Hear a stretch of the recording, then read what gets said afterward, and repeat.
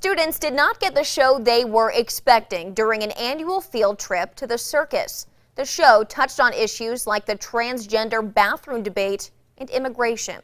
Here's News 13's Rachel Knapp. The parents that we spoke with say they don't have an issue with the performance, only that they wanted to know ahead of time of what their young kids were about to see. We were under the impression that it was going to be a circus.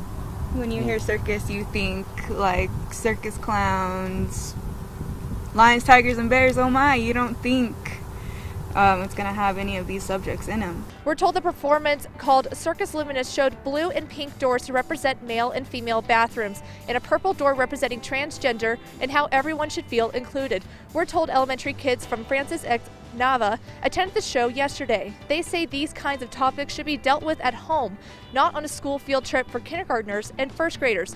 But the performance group, run by Wise Fools, say field trips are an opportunity for both kids and adults to experience new things. All of the issues that we brought up in the show, we didn't tell people how to think about anything. We just brought up things that are already happening in our world around us.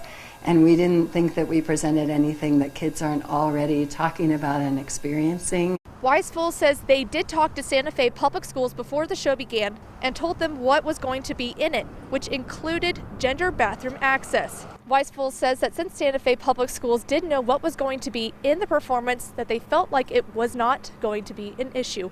Rachel Knapp, KRQE News 13.